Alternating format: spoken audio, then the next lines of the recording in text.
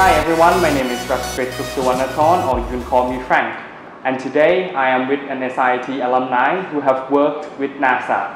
So, could you please introduce yourself a little and tell us how it's like working with NASA? Right, my name is Dr. Peerawan Vivatananon or you can call me Nat. I graduated from mechanical engineering at SIIT in 2002. After I graduated from SIIT, I did my master degree and then a PhD from the Netherlands. And then I work at NASA. I was at NASA Langley Research Center for three years. I was working at the Advanced Materials and Processing branch. Uh, while I was working there, I was a project leader developing small spacecraft. And after that, I moved to Zurich, Switzerland and work at RUAG Space as a systems engineer, basically leading the technical team to develop mechanism for spacecraft and satellites. First of all, could you give us uh, your techniques or tips uh, regarding about studying that helps you to be successful as of uh, working nowadays? Is first of all you need to um, make sure that you have selected um, the path that you like the most.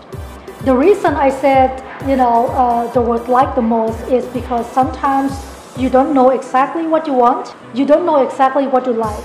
But if you are able to steer yourself, you know, putting yourself on the track that you have passion with, you would have so much of courage to move on and you don't give up. And second tip is when you study, be serious about what you do. Be focused. Concentrate on the study materials. Try to put yourself on the track and stay on the track. If you have doubts or problems, if you don't understand anything, ask questions. There are no stupid questions. You talk to the professors and ask for help. I know that it's hard, but you really have to do it. Okay, so uh, next, uh, I would like to know that how does studying in SIIT help with career works and graduate studies? Studying at SIIT really helped me on my career, you know, after right after graduate. Basically, SIIT has so much of high quality people, high quality professors that helped me get through with all the difficulties during my study. And this actually um, provide me a very good foundation that helped me jump into my next career.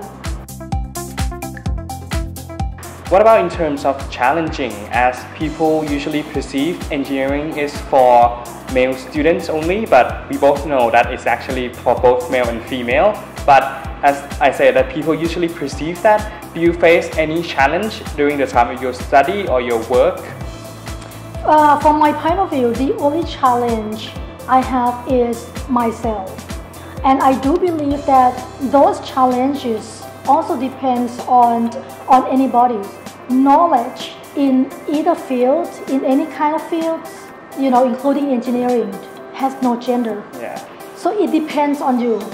If you feel that, um, you know, you are female and you cannot uh, study in, in, in engineering, I think that uh, you are limiting yourself. Uh, back to about studying in SIIT. So, what is your impressions towards SIIT? I'm very impressed by, by professors, by lecturers, by high quality people that I met.